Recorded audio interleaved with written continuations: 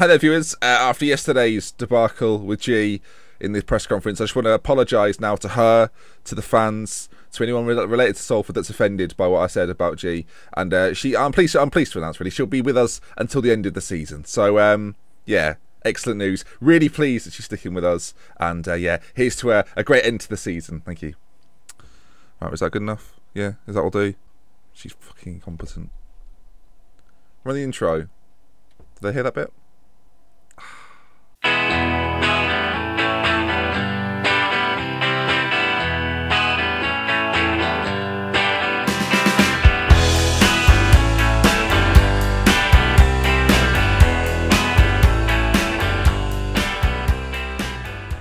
Folks, welcome back to the Salford Story with me, your host, Dr. Benjy FM. How are you? Are you okay? Are you doing all right? How are things? They're good. Right, so I shouldn't pry. Sorry. As you can see, we're still in sixth place, and since we last met, we actually, well, we, we ended the run quite badly. We last met against West Bromwich Albion, two under feet. We then lost to Manchester United, uh, and then we drew with Liverpool, which isn't a great result because they got promoted. Two back-to-back wins against uh, Newcastle and Chelsea. Chelsea having a dreadful season, by the way. Uh, a 1-1 against Reading, wins against lowly Leicester, and decent Burnley side, and then a defeat to Arsenal. So we went on like a very bad run of five games without a win. We then went six games without a loss, and now we're back on the losing streak, I assume. Uh, we play Aston Villa, who are bottom of the table today, and Everton in our sort of beginning of January. And I, for one, am very bloody excited. Now, next episode, we may do a little run through of January. We have 50 million left to spend, and I feel like we should spend it. Based on where we are in the league table, we have to like this. This top six monarch is not confirmed by any stretch. We have to get um, a, a, good run in on the go to, to definitely secure ourselves. And, and, I said at the start of the season, Champions League is the goal. So I think we might spend big in January. And if we do, I will. Uh, next episode will be a sort of January run through, maybe the back end of January, maybe like the, the, the second portion of it, and uh, we'll talk through what we've done, what we plan to do, and uh, yeah, you'll see it all unfold. So yes, here we go into today's episode. Though two matches, starting things off against Aston Villa, who have 11 points. It's just like real life, but 13 years in the future. I should mention as well, I've, I've been looking to buy this young lad on a on a pre-contract. Um, his existing contract 2.6k a week, so I thought, oh yeah, I'm sure it'll be reasonable. As you might have seen, 115,000 is the minimum he'll he'll accept. Suggest that he'll do that? No, obviously not. Ridiculous. Another little bit of transfer news: Gilles Megna uh, looks to me to be quite a prospect coming through at France. Um, I, am I'm, I'm going in for him uh, again, pre-contract. He's I don't know if he's wanted by the clubs. He may well be. Ah, yes, of course he is. Uh, well, we know what happened last time, don't we? So let's see if it unfolds again. Uh, I'd like to get him on a free transfer, I have him for the end of the season. I, I like the look of him. I think he looks good at Racing Club de Lens. So yeah, we'll see. Okay, and this is the team we're going to play against Aston Villa. As you can see, a change in shape, change in formation. Only t- only a little bit. Formation, man, just changed it a little bit. Uh, Barry and Peter are sat back a little bit deeper. Gives us a bit more defensive solidity. We don't get exploited down the wings uh, anywhere near as much. Argue to say we don't create as much, but we're definitely more solid, and it allows Sandoval and uh, Peter Phillips to do a bit more business up the, up the top end. Sandoval now plays as a deep lying forward attack, and you might think, well, that seems strange because you've not mentioned this ever before. But you, say this, he actually works quite well. You can see from all his attributes there, apart from the passing one, he suits it quite well. So, um, yeah, and, he, he's been scoring a few goals for us so far this season 7 in 13. Not too bad at all. More than last year, where he was piss poor and injured. Biggest shock today, Peter plays. He's always injured, but he's back. Everything else largely the same. I should say Andy Backhouse has been playing recently. He's been doing all right, um, bringing him into the side, trying to develop him slowly but surely. And, uh, and yeah, he, he's. He looks a bit bare, doesn't he? Looks a bit raw still. 20 years of age, got a lot of growing to do.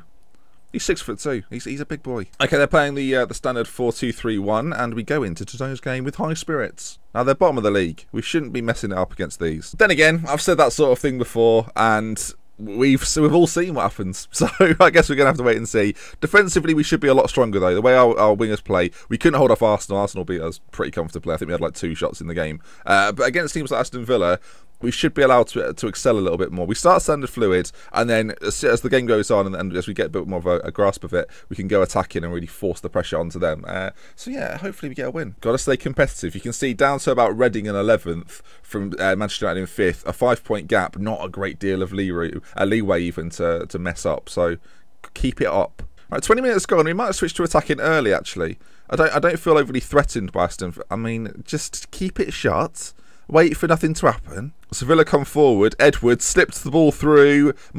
I mean, did he lasso it? It's hard to say. He saved it, that's for damn sure. Uh, corner kick to Aston Villa. Casper, the friendly defensive midfielder with the blockage, and uh, plays it forward to Sandoval, who's got absolutely no support, but that's fine. We're looking to build. Okay, Vidal finds Peter in our first real attack of the game. Vidal again, obviously being pushed forward, didn't play so uh, so further forward. Oh, well, I talk about him, and he scores a goal. He's playing in that sort of third midfield role now. He's playing just behind Peter Phillips, and has got the, the movement to, to roam wherever he kind of wants to go. And he's got himself a goal. I'm not sure how many he scored this season, but I think he's got maybe five now. I'm not entirely sure. You may have seen it at the bottom. I can't remember. Uh, Babiev chips it forward. It's a poor header, and Diego Vidal. He would have never scored this goal in previous systems with it. It's 1 0. Lovely stuff. At Salford Stadium as well, which still looks magnificent, even in the winter looks great. Casper uh, and Vidal combine there on the right side, and Babiev got a, lot of, got a lot of movement in front of him. If you can pick somebody out, Peter was to Sandoval. Oh, my, oh, he's Lassoed it. He's quite literally Lassoed that one.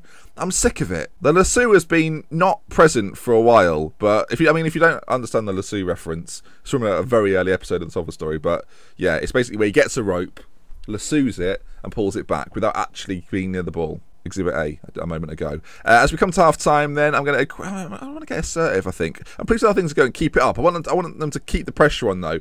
I don't want us to get complacent. Too many times recently we've been in a bit of a lead and uh, we've thrown it away. So not today. Let's try and hold it. Peter and uh, Peter Phillips.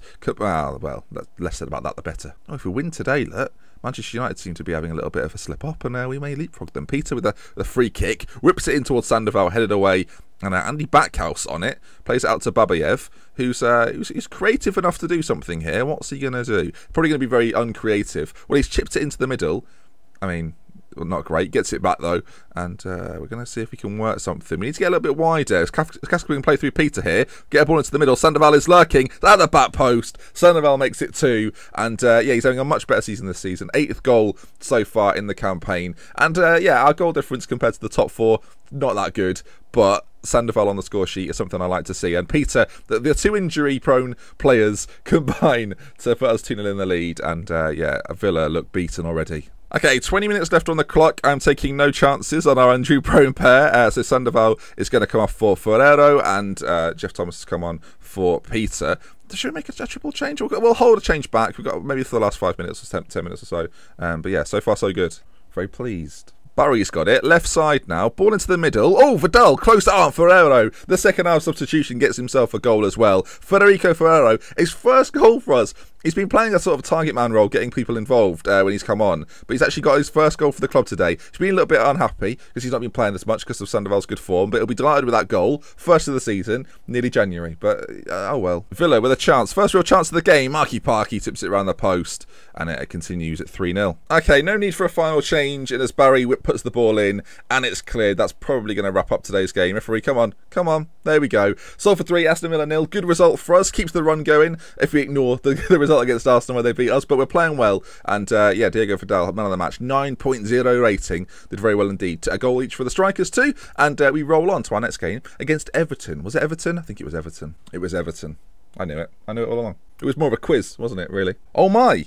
I've come back after that game, and apparently he's going to sign 1.1 million to be deducted. Jules Megna, Menga, bit of a wonder kid. And I tell you what, I am very pleased. If you take a look, quick look at the scout report, I did note not injury prone, and uh, apparently he's got no intention of joining our club on a permanent basis. Well, that seems like a lie. And uh, yeah, he's going to come in as another striker, and I'm very, you know, I'm very, very pleased with this. I think he could be, well, who knows, a future star. Still 19, play to roam and work with. Now, we may well be able to buy him early. Shall we have a little look? Now, if you sign a free transfer, there is. Oh, it will attempt to start learning English before arriving. What a guy. The question is can we manage to buy him early? Make an offer He's already accepted a contract offer. Yes, I've it's mine. I want to try and get him early. I don't think we can. Well, well maybe we'll be in the summer. Anyway, carry on. Uh, Everton. Just in case anyone's interested, I know this is uh, of interest to some people. Uh, Rodrigo Bentancur has won the Golden Ball achievement uh, for the year. Looks very good. Real Madrid player now, 32 years of age. Uh, I might as well show you the team of the year as well. They also won World Player of the Year. Did very well. A couple of regions there as well. Uh, and that's the World Team of the Year. You can see that Real Madrid dominate. A sporting players in there, so they must be doing all right, I guess. Uh, in goal for, for Udinese. A player obviously that you may well recognise. Uh, Patola up front, some just some decent players there. Patola's doing very well in the league this year, so uh, unsurprising to see him there. Donnarumma is on the bench as well. We didn't get any players in there. R- Rivy's on the bench as well, but we didn't get anyone there. But Diego Vidal and Marky Parky, team of the week. So I know I'd rather be well team of the year, obviously. We've got third in goal of the month. I mean, we're racking up the awards. oh, that's good. Okay, then next game coming up against Everton. Everything's just going to remain the same. Don't need to change a single thing. Uh, fitness wise, we look pretty good, so I'm not too concerned about it. We have an FA Cup game coming up soon where we can do a little bit of rotation. Uh, but yeah, Everton, the team we're playing against, I don't think they're in a great season. Mid table, 10th ish. Yeah, 10th they are. 26 points. Only, what is that? Tw- uh, six points behind us. So Mm, they've got a chance here, but we are favourites for the game, so let's do a, let's do the business. We're chasing down Arsenal in those Champions League spots. We just need to win games by more than like two goals would be nice. I mean, the last game we did three goals, so I don't know what I'm talking about. Everton going for a very standard formation, something I think we'll probably all recognise. And oh, they've got a famous guy there, look, a, a famous guy. It'll be annoying when he scores later. Right, I'm going to tell them I expect nothing but a win, but I'm also going to try and give them the calm, I have faith in you approach. Come on, Sandoval. Didn't care. Didn't care. Right then, after the, the, the success of the Aston Villa game, a game that you'd, yeah you'd expect us to win, they're bottom of the league. Can we then follow it up with a with a mid-table battle against Everton? I, I say mid-table. I feel like deep down I know we're a bit of a mid-table side, just performing above expectation. But that's fine. Let's do that first action of the game. Ball in by uh, their, their player called Di Maria. Not the same Di Maria, I don't think. I think it's Di Maria rather than Di Maria. But, I mean, I, am explaining it in far too much detail. Essentially, it's not Angel Di Maria. As uh, Everton come forward, make their way into the box, ball cut across. It's just... I, We'll watch it. We'll have to watch it. Everything's going so well. 3 0 against Villa, battered them. And then we have this happen where the ball is played in and uh, I mean, what do you say about that? I'm speechless. Ankerbrand just doesn't care. Just doesn't give a shit. They've not even had a shot on target. They're 1 0 up. That's how annoying it is. I mean, now they have had one. Fair enough. Ball played in. Everton looked to make it two. We're going to. I mean, do we go attacking early here? We did it in the last game and it went quite well. Half an hour gone. I, I, fear that they may well get another one here as it's put to the back post and it's a great block, I must say. Number 10. Who got back there? Peter uh, Sandoval getting back. And now we're going to try and break away. Sandoval made the ball. Okay, well, never mind. Never mind then. It doesn't matter. We've not had a shot yet. We've had more possession. We've had a shot now. Why is it mugging me off today? Corner kick, Peter, just before half time. Not the greatest of deliveries, but we're sticking in there. Peter into Sandoval, turns his man. Andy Backhouse is there. What? What? Hello? Got, uh, confused to why that's a highlight now, all of a sudden. Don't be a highlight because they're counter attacking. That's not. That's unfair. It started with a corner for us, ball to the back post. Sort of. Same highlight continues. Cleared. okay, half time is approached, and the, the, the joy of this formation is it gives me the option to do this.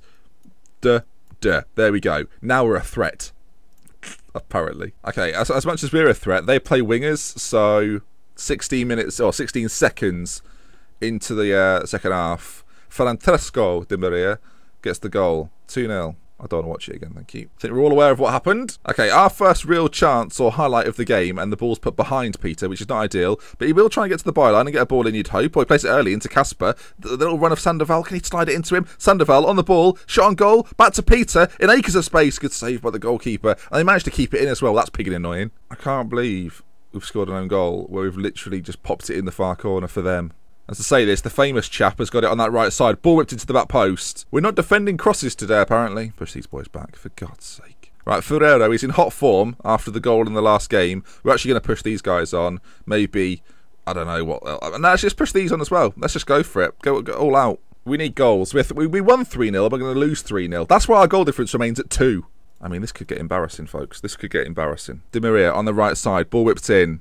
Good save by what save? Forget the save. It, it not even. Ma- uh, I mean, we just, we just battered Villa. It was looking so good, and then this. And they're all going to be going, ditch the three at the back. We ju- we went five games unbeaten earlier in the season, and now you're like, oh, ditch it. No, I won't ditch it. We'll we'll work it out. Yes, it's shit. We'll it, we will recover from this. Here, this is the the moment. Ball played in. Ankerbrand in the same corner he did it earlier. We're back in the game. Four one. Mark my words. This is going to be a draw. We'll watch this. Peter whips it into the back post, and uh, pretty much from the same area in which he headed in the own goal, he's now got himself a goal, and really it's three 0 now based on the fact that he's cancelled out what he did earlier on, and I respect it. in before he scores another own goal here, as they've got it again. Basically, they're playing very wide footballers. Ball played into the middle. Parky with a good save. I mean, good catch. And uh, yeah, we're going to have to score now if we're going to make this comeback happen. And I fancy it. Ball played up for, to Ferrero, heads it back. Peter's going to get onto that. He has done. Peter Phillips now. Ball played, played through to Vidal.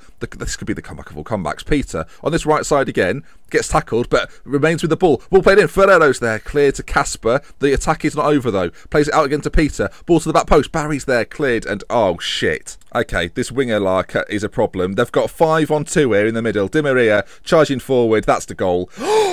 I mean, he's not actually. That's probably not legal because he's done that. He's not got. I don't know what that is. Not a lasso. What object? I guess you can pick. What object is Peter? Uh, Peter Phillips, Marky Parky. I don't. Peter Phillips isn't in goal. I mean, let's hold on a moment. What object has Marky Parky used to block that goal? Because it certainly wasn't his body. As the ball's played through, and I tell you, this could be three goals in ten minutes. We're back in the game. Ferrero, good save by the goalkeeper, and the dream's over. Getting very animated for a game which we're losing four one. Don't know why. I feel like I've just got to remain sort of fake positive because otherwise they'll they'll see me on the sideline in just tears, and there'll be a breakdown for all of us. As uh, that pretty much brings us to the end, and four one defeat to Everton, who are in tenth. Okay, we stay in fifth. I mean, who cares? United are rubbish. There it is then, full time. Um, well, not great. Ooh, gonna bollock him. Aggressive. I'm. That was not good enough. we let it motivated. It's always annoying because they should have done that before. Right then, folks, we will be back around the QPR Sunderland Hull time. Uh, we'll do like the three games there, as well as a sort of a January rundown. We'll do a sort of short, short compressed three game episode uh, where I can talk about transfers and things like that. We're going to spend some money let me know in the comments where do you think we should spend it. I will uh, read them.